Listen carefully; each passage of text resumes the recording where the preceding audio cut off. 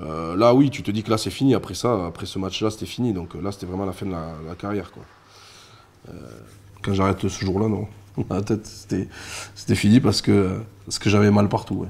David Roumieux était de ces joueurs que l'on qualifiait de pénibles. Avec plus de 300 matchs à son actif, le talonneur rugueux s'est arrêté le 13 mai 2018 sous les couleurs du Stade toulousain. oui, on prend un coup de vieux, oui. Et oui, parce que t'arrêtes parce que t'avances plus comme quand t'avais 20 ans. Donc, euh.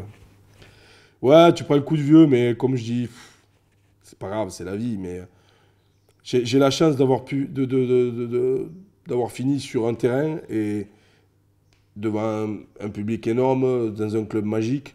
À 39 ans, le père de famille est devenu restaurateur un mois seulement après sa retraite sportive. Son dernier jour, son dernier match, une petite mort qu'il s'est empressé de rejeter. C'est comme ça, il faut avancer. Moi, je vois ce que je dis, je suis pas dans le, dans le passé, j'ai vécu ce que j'ai vécu, c'est génial. Maintenant, j'avance. J'avance. Ah, si c'est sûr que si tu te prends la tête à dire tu t'assois, c'est fini, mince, tout ça, ah, tu cogites et c'est même pas la peine.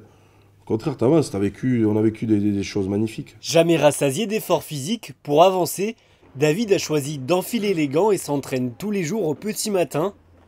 Ça va, Kiki Au menu de sa séance d'une heure, cardio, burpees, pattes d'ours, des efforts intenses pour l'ancien première ligne.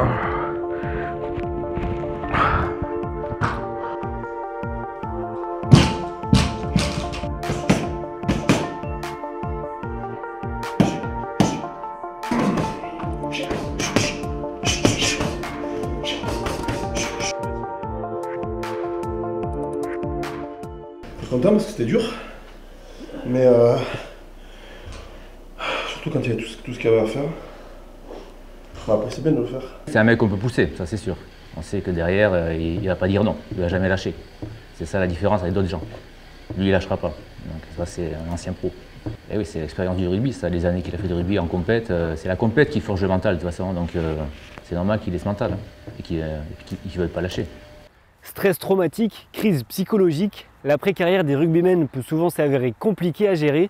Seulement un joueur sur cinq continue dans le sport après sa retraite. Des clubs ouvrent même des cellules de reconversion.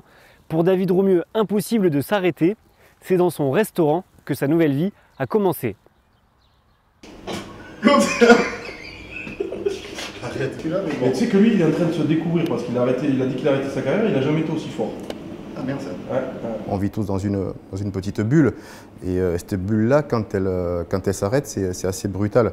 David, il n'a il jamais rien lâché. Jamais rien lâché, dans, mais dans tout ce qu'il entreprend, en fait. Euh, et ce qui m'impressionne chez lui, c'est que son, son, corps, pour le moment, ne, ne dit pas stop. Quoi.